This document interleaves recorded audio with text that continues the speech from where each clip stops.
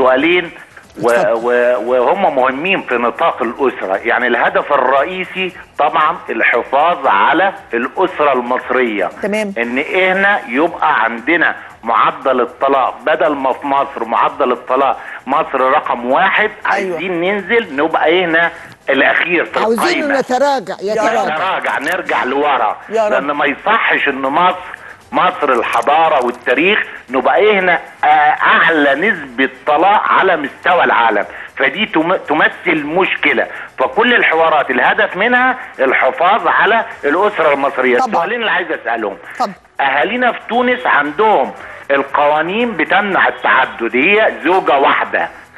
ولما سألت حد صديق ليا في تونس قال لي لأن مع التعدد لازم يكون في عدل ومحدش بيعدل. فإحنا اختصرنا الموضوع وخليناه زوجة واحدة. وقطعوا الطريق على الموضوع ده. قطعوا قفلوا الموضوع ده.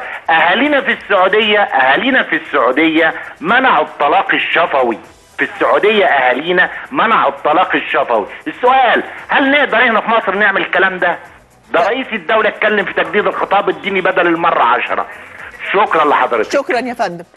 الحقيقة أنا بشكرك على الطرح اللي طرحته. هو هو حط إيده في لب القضية فعلا. لأن الراجل بيستفيد بكل ما أعطته الشريعة من مساحة وعلى رأسها مساحة التعدد الزوجات. وهو عندما يعدد لا يرعى حق الزوجة الأولى أو أنه ليس في حاجة لهذا التعدد هي تقوم بكل شيء. لا يقتنع بالأولى طالما ما أنا عندي الفرصة والشرع مديلي. أيوة. يبقى عارفة واحد بقى عايز يستفيد بالفرصة واللي أعطاه الشرع له. هي ده مشكلة في كثير من بيوتنا. يقول لك آه، أنا ما ما جيتش حاجة حرام. أنا عملت اللي ربنا اداهولي. آه ربنا اداهولك للضرورة. ولذلك كنت أود من الشيوخ ومن اللي بيتصدوا الخطاب الديني أنهم يأكدوا على أن متى يجوز أو تجب مش يجوز كمان تجب يجب. التعدد. في حالة إن الزوجة لا تقوم بدورها كزوجة سيدة مريضة عجوز. لا تستطيع أن تعطي لزوجها حقه هنا يحق له أن يتزوج. أنها لا تنجب وعايز يبقى أب برضه من حق.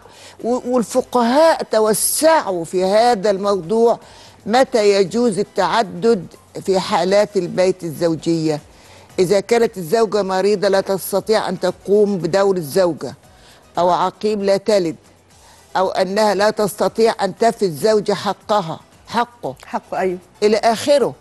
لكن إحنا لا ننظر لهذه الضوابط أبدا اللي اتفق عليها فقهاء المسلمين.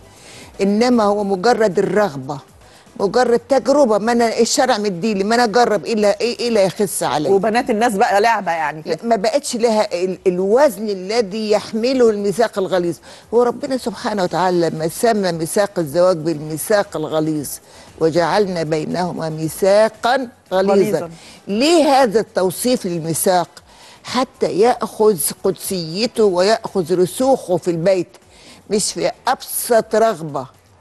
إن أنا أطوح بيه من الشباك لا. ويهد أسرة كاملة. ويهد- ويحرم أولاد من نعيم الاستقرار في بيت أبوه. طيب